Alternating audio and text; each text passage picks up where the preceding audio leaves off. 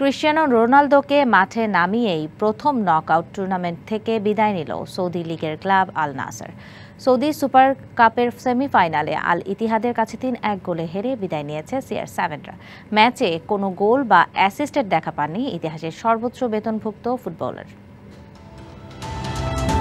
কদিন আগে কতই না ধুমধাম করে ইতিহাসের সবচেয়ে বেশি বেতনে রোনালদোকে সাইন করালো বিশ্বের সাতাশ নম্বর লিগ সৌদি আরবের আল নাসার।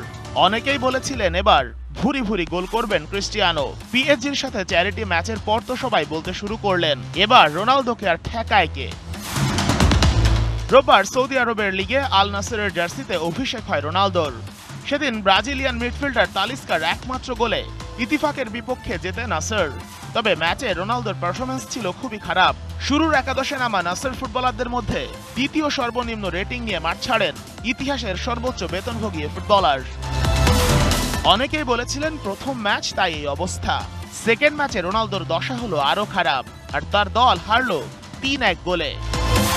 প্রথম ম্যাচের মতো এদিনও রোনালদোর নেই কোনো গোল বা অ্যাসিস্ট আর স্ট্রাইকার হয়েও পুরো ম্যাচে শট নিয়েছেন মাত্র দুইটা। অথচ রোনালদোকে সাইন করানোর আগে শেষ তিন মৌসুমের দুইবারই সৌদি সুপার কাপের চ্যাম্পিয়ন হয় আল নাসের, আর তাকে দুশো মিলিয়ন বার্ষিক বেতনে দলে ভেড়ানোর পর তারা ফাইনালে উঠতে পারল না। সাথে শেষ তেরো ম্যাচে কোনো হারের মুখ না দেখা আল নাসের।